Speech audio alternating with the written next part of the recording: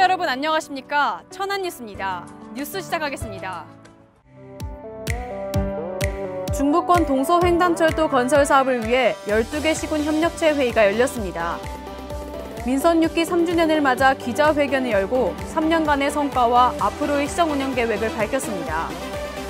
천안시가 2017 한국소비자평가 최고의 브랜드 대상에서 기초자치단체 부분 대상을 받았습니다. 충청남도와 함께하는 2017 천안아산 청년 일자리 박람회가 개최됐습니다. 일상 속 표실천 결의 대회가 시청 봉소홀에서 개최됐습니다.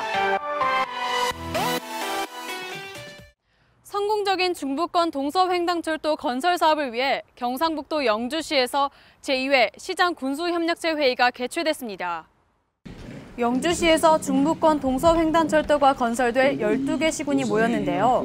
이번 협력체 회의에서는 용역 중간 보고를 듣고 향후 계획과 과제에 대한 논의가 있었습니다. 협력체는 지속적으로 중부권 동서횡단철도의 필요성과 기대 효과를 홍보하며 국토교통부 차원의 사전 타당성 조사를 시행해 줄 것을 요청하기로 했습니다. 오늘의 모임은 대통령 공학sek에 들어가 있는 중부권 동서 횡단 철도의 조속한 건설을 촉구하는 그런 자리가 되겠습니다. 이 사업의 타당성 조사를 통해서 이 사업의 어, 효율성을, 효과성을 그런 높이는 그런 자리를 같이 함께 공유하자 하는 의미에서 이 사업, 오늘 모임이 됐다고 보겠습니다. 지난 3월 협력체는 국회 포럼 및 연구 용역 중간 보고회를 개최하는 등의 노력을 기울여 올해 4월 문재인 대통령 공약에도 반영시켰습니다. 친환경 철도를 통한 국가 경쟁력 확보와 국토의 균형 발전, 서해안 신산업벨트와 동해안 관광벨트 연결, 내륙 산간 지역 동서간 신규 개발축 형성 등의 건설 효과를 기대하고 있습니다. 민선 6기 3주년을 맞아 구본영 천안시장이 기자회견을 열어 3년간의 성과와 앞으로의 시정 운영 계획에 대해 밝혔습니다. 기자회견을 통해 구본양 시장은 3년간의 성과와 남은 기간 시정 계획에 대해 밝혔는데요. 민선 6기 천안시는 9개 분야 99개의 공약 중 69개를 완료했거나 계속 추진하는 성과를 냈습니다. 남은 30여 건의 공약도 정상적으로 추진하고 있습니다. 또 천안시는 한국 지방자치 경영 대상 종합 대상, 한국 매니페스토 공약 이행 평가 2년 연속 최우수 등급 등 각종 기관 평가에서 129개의 표창을 받는 등 역대 최다 수상을 기록했는데요. 새로운 성장 동력 확충을 위해 신성장 동력 창출 기반을 마련하고 지역 맞춤형 일자리 창출, 청년 창업 지원, 사회적 경제 기업을 육성했으며 안정적 물가 관리 강화 등으로 친서민 경제 정책을 확대하고 있습니다. 2017 한국 소비자 평가 최고의 브랜드 대상에서 천안시가 기초자치단체 부문 대상을 수상하는 영예를 안았습니다. 이번 수상은 지난해 한국지방자치경영대상 종합대상에 이어 민선 6기 3년이 마무리되는 시점에 천안시의 도시경쟁력 우수성을 또다시 인정받았다는 점에서 의미가 큰데요. 한국소비자평가 최고의 브랜드 대상은 지방자치단체와 공공서비스 기관의 대상으로 산업경제와 보건복지 등 다양한 분야에 대한 시민 만족도를 평가해 뽑는 상입니다. 민선 6기 시정이 시민 중심 행복천안이라는 슬로건을 내걸고 지속적인 소통 행정을 추진해 왔고 시민 여러분의 아껴없는 관심과 참여가 있었기에 가능했습니다. 앞으로도 시민들과의 끊임없이 소통하면서 천안만의 먹과 자부심이 묻어나는 살기 좋은 천안을 만들기 위해 최선의 노력을 다하겠습니다. 이외에도 민선 6기 출범 당시 1,695억 원의 채무 중 1,515억 원을 상환했고 올 연말까지 나머지 지방 채무 전액을 상환할 예정이며 복지, 문화, 환경, 교통 등 다양한 분야를 두루 성장시켰다는 평가를 받았습니다. 구인 구직난 해소를 위해 천안 유관순 체육관에서 2017 천안아산 청년 일자리 박람회가 열렸습니다. 청년 실업률과 중소기업의 인력난 해소를 위해 마련된 이번 청년 일자리 박람회는 사전에 등록을 마친 80여 개 업체와 시민들이 참여했는데요. 현장 체험관에서는 기업과 구직자 간 1대1 현장 면접과 상담을 진행했으며 취업 컨설팅관에서는 취업 준비를 위한 이력서 컨설팅, 구직 상담 등 구직자들의 맞춤형 컨설팅이 제공됐습니다.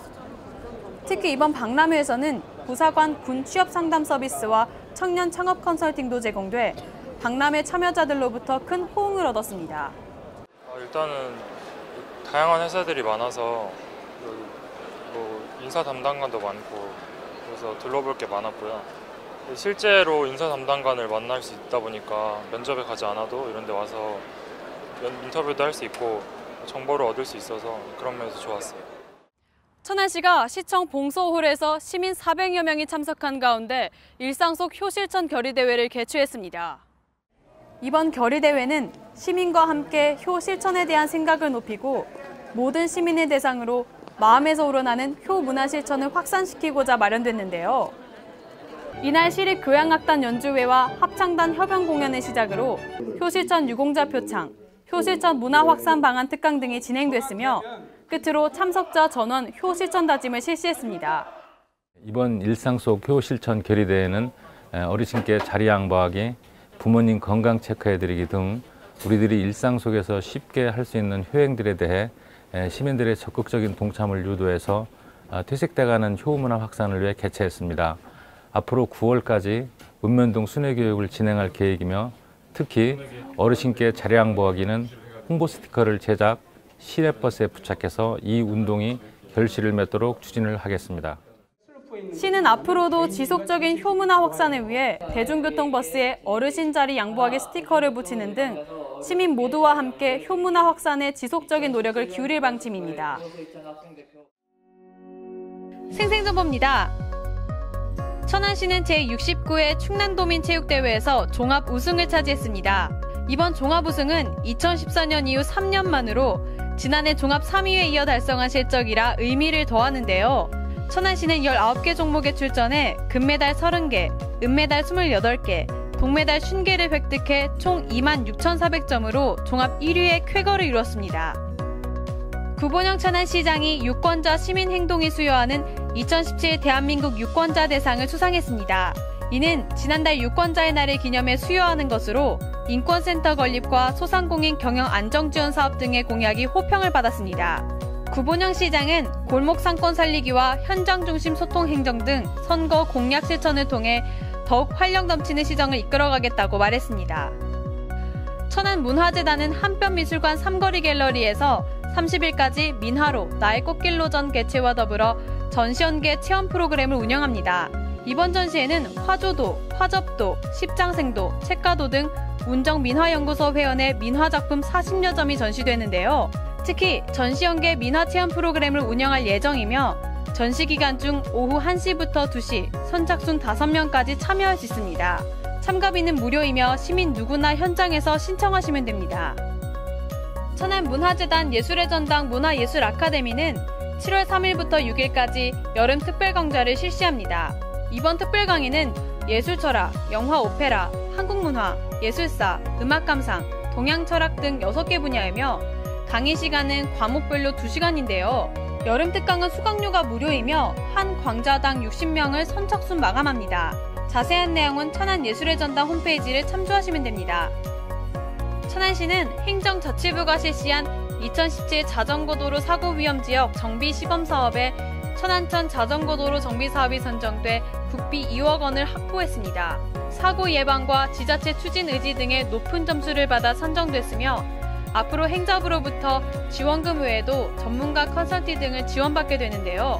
이에 천안시는 이용자의 편의 증진을 위해 목표 7개소를 설치했고 올해는 보도와 차로 분리를 통해 자전거 횡단로 등을 설치하는 등 자전거 도로 정비 사업을 추진할 예정입니다. 취업 정보입니다. 신라 몰드텍 주식회사에서 기술 영업원 1명을 모집합니다. 임금은 연봉 5,500만 원 이상이며 근무지는 아산시 둔포면 아산밸리로입니다. 대한칼소닉 주식회사에서 기계공학 기술자 및 연구원 2명을 모집합니다. 임금은 연봉 3,200만 원 이상이며 근무지는 천안시 서북구 입장면 당국 1길입니다.